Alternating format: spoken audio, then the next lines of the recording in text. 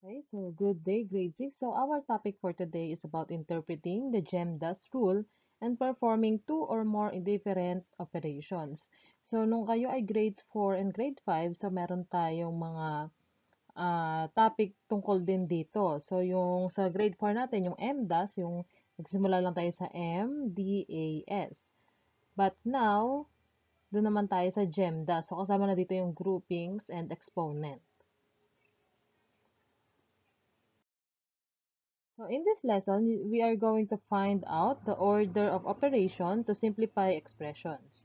The order of operation means order in which steps must be done to simplify and uh, an expressions. This follows rules of each set of operation. So, GEMDA stands for G.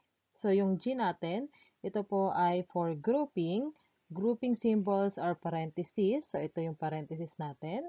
Then, we have brackets. So, ito yung uh, brackets. Para siyang stapler. So, next ay braces. So, yung braces naman, ito siya. Yung parang medyo pakulot siya. So, itong tatlong to, yung parentheses, yung brackets, and yung braces, ito po ay yung ating uh, G, yung grouping sa GEMDAS natin. Ito sa G natin. Then, we have Uh, for exponents naman, yung letter E, so ito naman yung ating exponents. So kung natatandaan nyo, meron tayong base and exponents na tinalakay natin nung nakaraan.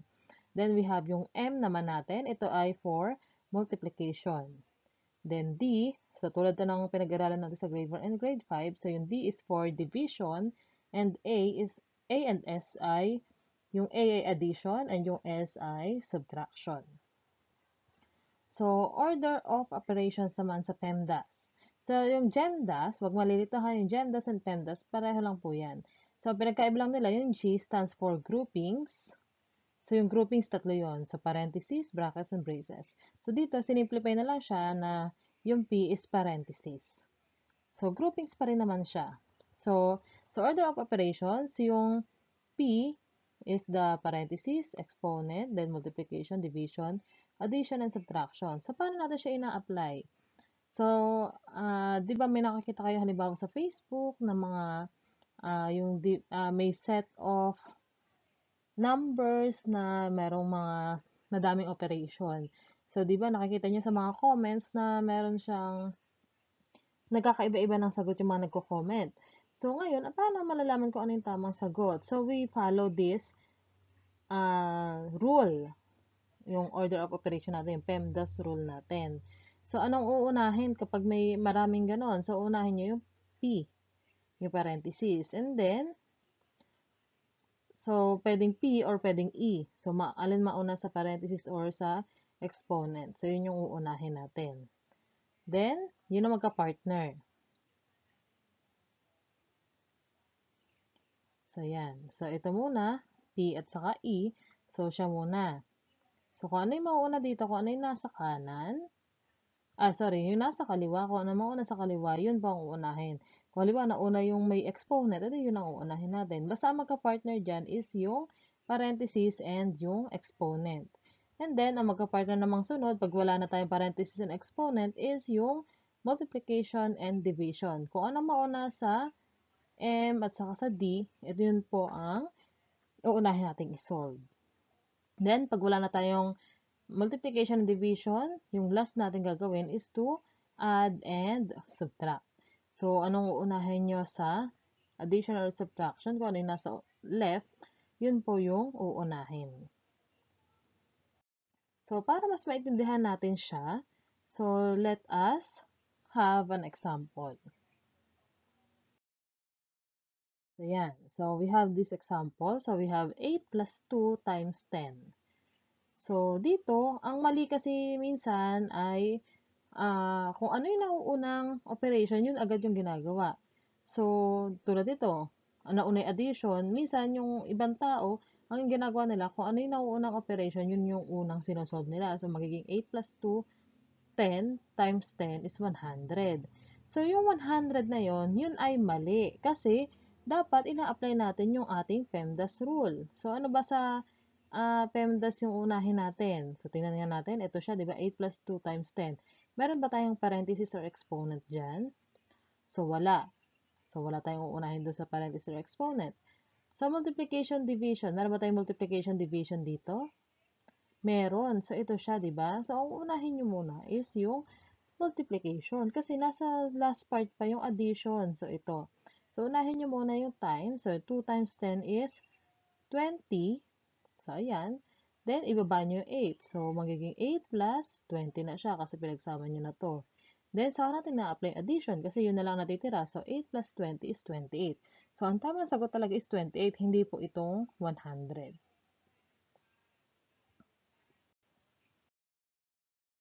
So, example number 1. So, we have 10 minus 8 divided by 4 plus parentheses So, ito yung close and open parenthesis, 7 minus 2.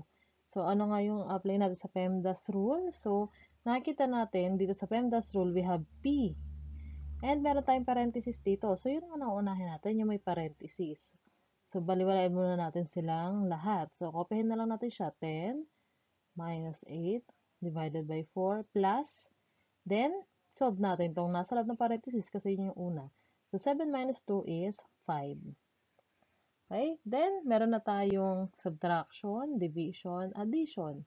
So, nung unahin natin dyan sa tatlo. So, wala tayong exponent, wala tayong multiplication, division. So, yung division naman. Okay? So, ito yung unahin natin. Hindi pwede yung 10 minus 8 muna. So, ito munang division tayo. So, 8 divided by 4 is 2. So, ayan na siya, 2. So, magiging 10 minus, then 8 divided by 4 is 2 then plus 5. Okay, then meron tayong subtraction and addition. So, di ba magka-partner itong AS? So, uh, kung ano yung mga una sa kanilang dalawa, yun ang uunahin natin kasi sila yung magka-partner. So, since nauna dito ay subtraction, ito yung uunahin natin. Kasi magka-partner ang subtraction and addition. So, kanina sa kaliwa, yun ang uunahin. So, 10 minus 2 is 8, then plus 5. So, 8 plus 5 is 13. Then for example number 2, we have 3 squared plus 2 times 8 minus 2 minus 3. So yung nakikita nyo dito, bakit walang operation sa pagitan ng 2 at saka yung 8? So ibig sabihin yan, yan ay times. Okay? So times po yan. So observe natin, we have sa PEMDAS natin, we have P Okay, so we have P and E. Okay, so kung makikita nyo dito sa example, inuna niya yung may parenthesis. Pero since magka-partner naman yung P at saka E, pwede nyo ring ulahin yung mayroong exponent. So, since ang inuna, niya, inuna niya dito ay yung may parenthesis, so yun yung nakalagay dito. So, 8 minus 2 is 6. Then, yung exponent naman natin yung susunod natin. So, 3 squared. Ano ba yung 3 squared? So, di ba siya ay 3 times 3. So, 3 times 3 is 9. So, kaya siya magiging, kaya siya magiging 9. Okay? Then, kopyahin nyo natitira, plus 2 times 6 minus 3. Then, meron tayong addition, multiplication, and subtraction. So, anong unahin doon? Yung multiplication. So, kaya siya magiging 9 plus 12 minus 3. Then, we have addition and subtraction. Magka-partner po yan. So, kung ano yung nasa Kaliwa, yun ang unahin. So, addition muna. So, 9 plus 12 is 21. Minus 3 is 18. So, dito tayo sa learning task 1. So, let us evaluate the following expressions using GEMDAS or PEMDAS rule. Okay, so for number 1, we have 10 minus 2 plus 6 divided by 3. So, apply natin yung PEMDAS rule natin. Okay, so unahin natin magka-partner, yung P at saka E. So, meron ba tayong parenthesis and exponent dyan? So, wala po. So, tanggalin na natin siya. So, next na magka-partner, multiplication, division. Okay, meron po ba tayo dyang multiplication or division? So, meron po. So, ito po, 6 divided by 3. So, yun muna unahin natin. So, baba natin yung 10 minus 2 plus, then 6 divided by 3 is 2. Uh, so, wala na tayong multiplication and division.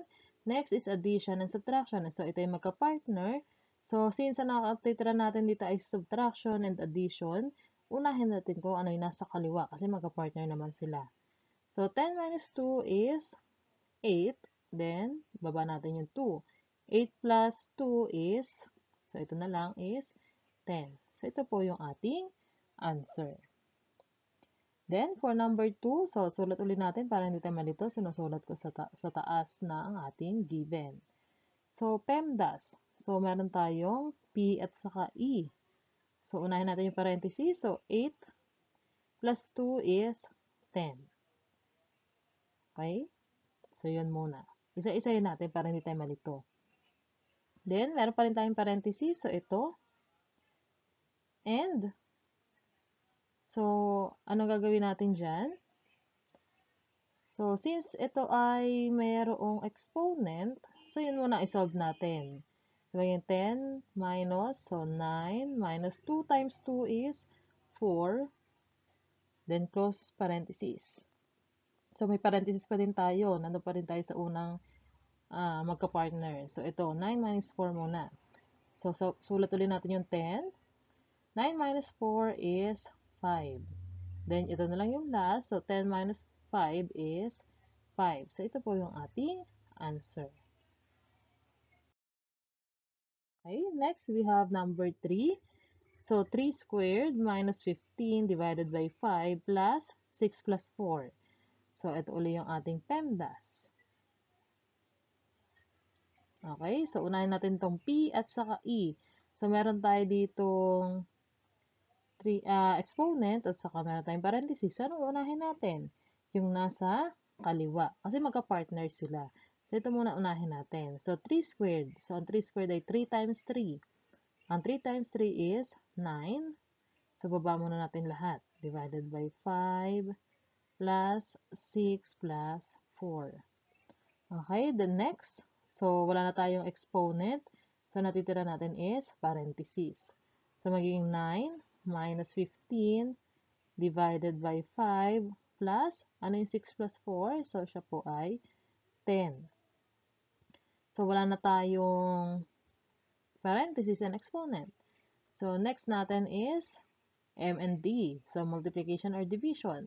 So, meron po, po ba tayo dyan multiplication or division? So, ito po.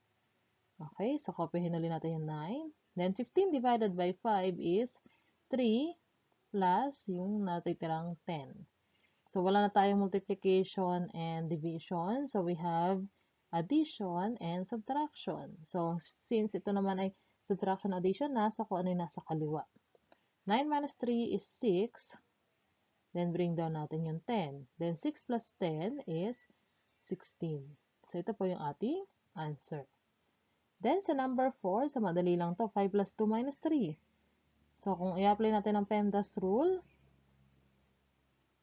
wala tayong P at E, wala tayong M at D. So, dito na tayo sa last. Addition and subtraction. So, kung ano yung nasa kaliwa. So, 5 plus 2. 5 plus 2 is 7. Then, minus 3. 7 minus 3 is 4.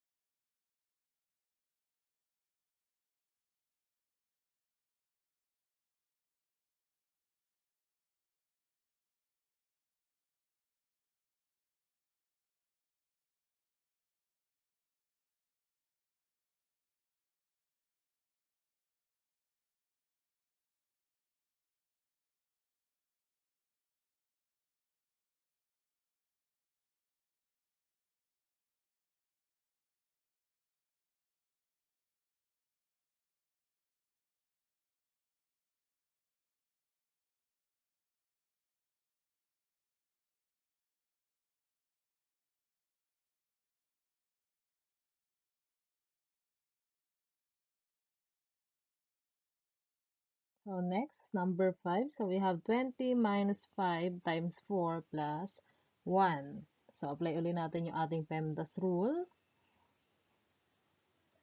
Okay, so wala tayong parenthesis and exponent. So multiplication and division. So meron tayong multiplication dito. So yun muna unahin natin. So 20 minus 5 times 4 is 20 plus 1. Then, wala na tayong multiplication and division. So, dito na tayo sa addition and subtraction. So, kung ano yung nasa kaliwa. So, 20 minus 20 is 0. Then, plus 1. And 0 plus 1 is 1. So, ito po ang ating answer. Then, number 6, we have 8 minus 2 minus, uh, 8 times 2 minus 4 divided by 2 plus 6. So, applying the PEMDAS rule, So, wala tayo dyang parenthesis and exponent. So, dito tayo sa multiplication division. So, we have multiplication and division dito. So, unahin natin itong nasa kaliwa. So, 8 times 2 is 16. Then, baba natin yung lahat. So, meron pa rin tayong division dito. So, 16 minus, yung 4 divided by 2 is 2 plus 6. 16 minus 2 is 14 plus 6 is 20.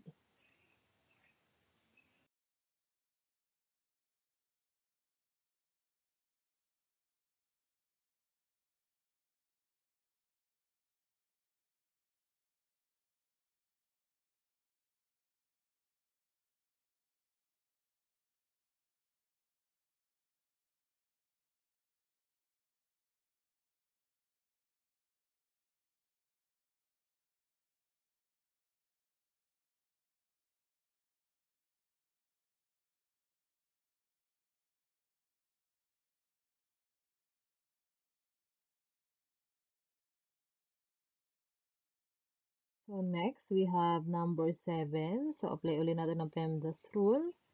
So, dito tayo sa parenthesis and exponent. So, ito po yan.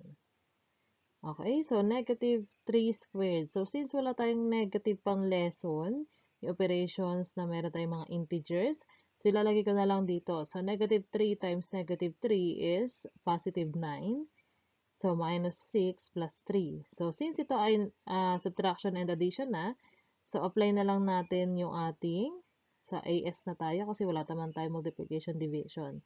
So, kanina nasa kaliwa. So, 9 minus 6 is 3 plus 3 is, ay, sorry, is 6. So, ito po ay 6. Then, we have number 8. 9 minus 8, min, uh, 9 times 8 minus 36 divided by 4. So, applying the PEMDAS rule. So, we have 9 minus, uh, 9 times 8 minus 36 divided by 4. Wala tayong parenthesis, and, parenthesis and exponents. So, dito tayo sa multiplication and division. So, meron tayong multiplication and division. So, kung ano yung nasa kaliwa. So, unahin natin yung 9 times 8. 9 times 8 is 72 minus 36 divided by 4. So, next, yung division naman. So, 72 minus, ito po ay 9. Then, 72 minus 9 is 63.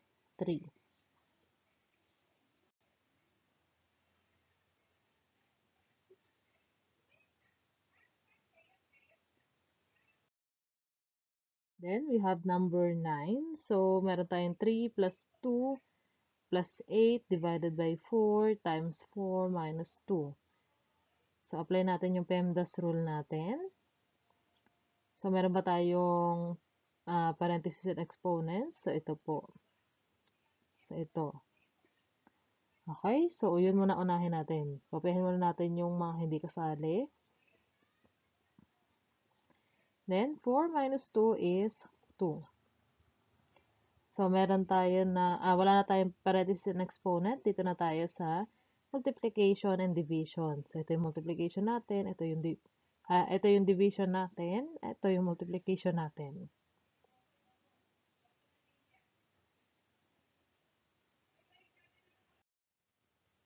So, unahin muna natin yung division kasi siya yung nasa kaliwa natin. So, magiging 3 plus 2 plus yung 8 divided by 4 is 2 times 2. So, last natin doon is multiplication. So, magiging 3 plus 2 plus 2 times 2 is 4. Then, for addition na to. So, simulan na natin sa kaliwa. So, 3 plus 2 is 5 plus 4 is 9.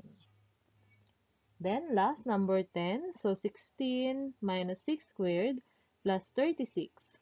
So, sa PEMDAS rule, syempre, unahin natin yung parenthesis and exponent. So, ito po siya. Exponent natin. So, yung 6 squared is 6 times 6. 6 times 6 is 36 plus 36. Then, so wala tayong multiplication division, dun tayo sa addition subtraction. So, kung mapapansin natin dito, ito yung uunahin dapat natin. And since wala pa tayong lesson about operation uh, in inti uh, about integers, uh, hindi pa natin to masosolve. Hindi nyo pa to masosolve. Pero dito, uh, sundin na natin yung rules. So, ito dapat ang uunahin natin. And kapag minus na yung 16 minus 36, ang magiging sagot talaga dito is negative 20, then plus 36. So, ipapakita ko na lang siya. Then, uh, sa next week naman natin lesson, malalaman niyo kung bakit ganito yung magiging sagot niya. So, negative 20 plus 36 is positive 16.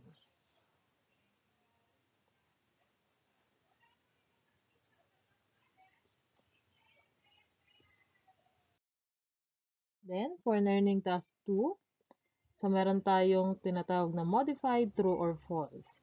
So, sulat daw natin yung true kapag ang statement is correct. Supply the correct answer if the statement is false. So, kapag true ang, ang ating equation, susulat lang natin true. Pero kapag false, susulat natin yung tamang sagot. So, for number 1, we have 10 minus 4 plus 9 divided by 3 equals 9 daw ba siya. So, check natin kung tama bang 9 siya. So, sa PEMDAS rule, okay, so meron tayong, ang unahin natin dito is yung division. So, magiging 10 minus 4 plus 9 divided by 3 is 3. Then, 10 minus 4 is 6 plus 3 is 9. So, tama naman siya dito. So, sulat natin is true. Then, sa number 2, we have 8 plus 2 minus 9 minus 2 squared equals 6. So, it, nakikita natin dito sa PEMDAS rule natin. So, meron tayong parentheses. Okay, so nahin natin itong nasa kaliwa. So, 8 plus 2 is 10 minus. So, yung 9. So, itong 2 squared is 4. So, may parenthesis pa din to. So, 10 minus 9 minus 4 is 5 and 10 minus 5 is 5. So, since ito, uh, ah, 6 yung nakalagay dito, so ito po ay false. So, pag false, sulat natin yung tamang sagot. So, ang tamang sagot is 5.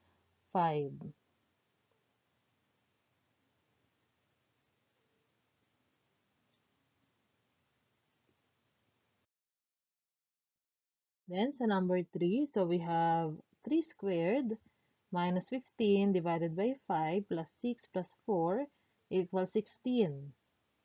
So, sa PEMDAS rule, so unahin daw yung parenthesis and exponent. So, since na nauna ay exponent, so ito yung parenthesis natin, so unahin natin itong exponent. So, 3 squared is 9. So, minus 15 divided by 5 plus, yung 6 plus 4 natin is 10. Then, sunod natin is division. So, magiging 9 minus 15 divided by 3 is, at uh, 15 divided by 5 is 3 plus 10. Then, unahin natin 9 minus 3. So, yun pa is 6 plus 10. And 6 plus 10 is 16. So, since pareho sila, so ang sagot dito is true. Then, we have 5 plus 2 minus 3. So, unahin natin itong 5 plus 2. So, yun pa is 7 minus 3 is 4. So, kapareho po nito. So, ito po ay true.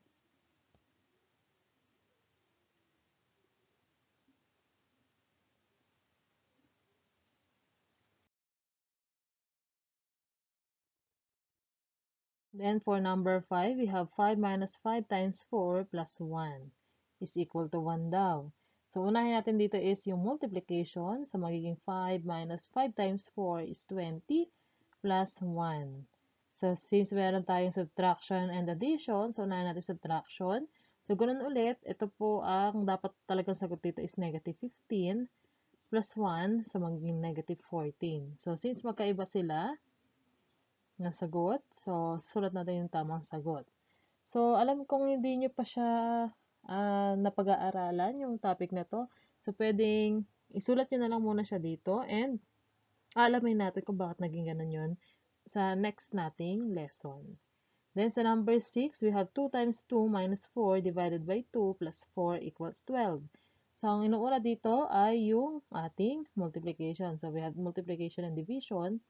Multiplication muna. So, 2 times 2 is 4 minus 4 divided by 2 plus 4.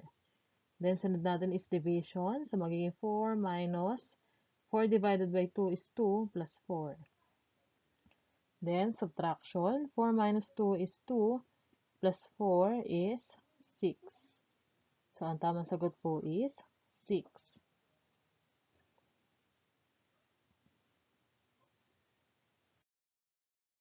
Then, number 7, we have negative 3 squared minus 12 plus 2. So, ganun uli. May mga positive, negative na naman to. So, negative 3 times negative 3 is positive 9 minus 12 plus 2. So, unahin natin yung minus. So, 9 minus 12 is negative 3 plus 2 is negative 1. Then, number 8. So, we have 3, uh, 3 times 8 minus 16 divided by 4. Unahin natin yung multiplication. 3 times 8 is 24 minus 16 divided by 4. Then, dito, multi uh, division and subtraction. Unahin yung division. So, magiging 24 minus 16 divided by 4 is 4. And 24 minus 4 is 20.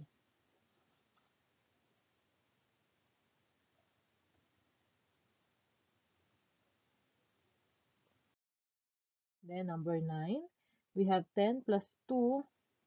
So, ayusin natin ito ng sulat, ha? So, 10 plus 2 plus 4 divided by 4 times the quantity of 4 minus 3.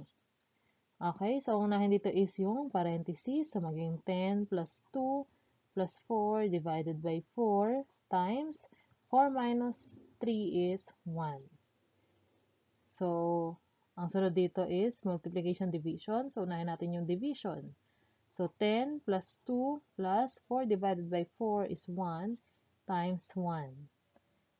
So, meron tayong multiplication. So, magiging 10 plus 2 plus 1 times 1 is 1. Then, sunod, itong 10 plus 2 is 12 plus 1 equals 13. So, mali itong 2 natin. So, ito ay 13. And last, number 10, we have 11 minus 3 squared plus 3. So, unahin natin exponent. So, magiging 11 minus 3 times 3 is 9 plus 3. Then, 11 minus 9 is 2 plus 3 is 5. So, ito ay true.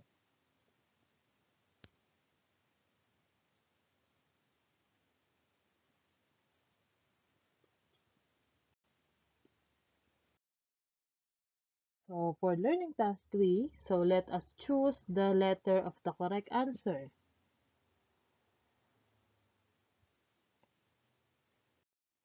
So, for number 1, so the order in which steps must be done to simplify an expressions. An expression. So, this follows rules of each set of operations. So, ano po siya? So, yun po ay order of operation. So, letter C. Number 2, so we have 3 plus 4 minus 8 times 2 plus the quantity of 4 plus 2. So, solve natin to. So, unahin natin dito is yung nasa loob ng parenthesis. So, magiging 3 plus 4 minus 8 times 2 plus 4 plus 2 is 6. Then, sunod natin is multiplication. So, magiging 3 plus 4 minus 8 times 2 is 16 plus 6. Then, sunod natin is addition. So, 3 plus 4 is 7 minus 16 plus 6. Then, subtraction. 7 minus 16 is negative um, 9 plus 6. So, negative 9 plus 6 is negative 3. So, letter C.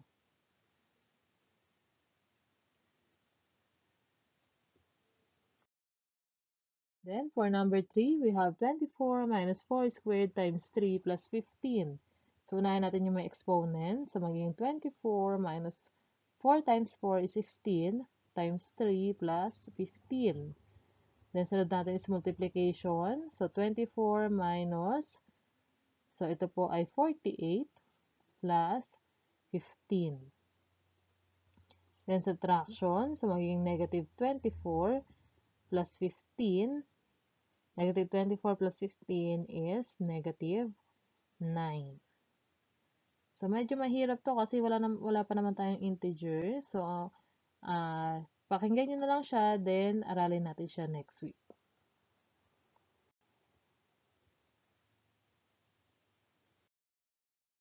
Then, number 4. So, unahin natin dito is yung nasa loob ng parenthesis. So, magiging negative 3 plus 8 plus 3 plus 2 is 5. Then, sunod natin itong uh, unang addition. So, negative 3 plus 8 is 5 plus 5 is 10. So, 10, letter A.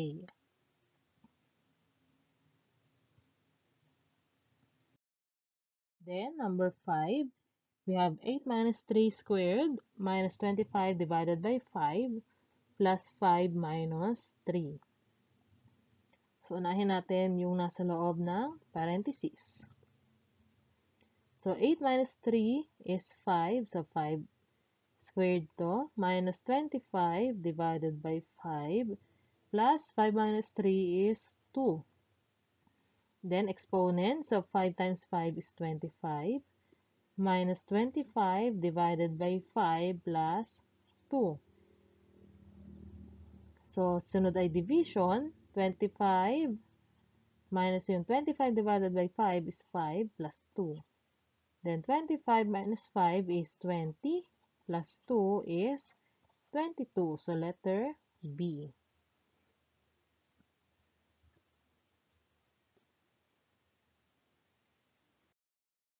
Ayan. So, doon pa nagtatapos yung ating lesson about GEMDAS.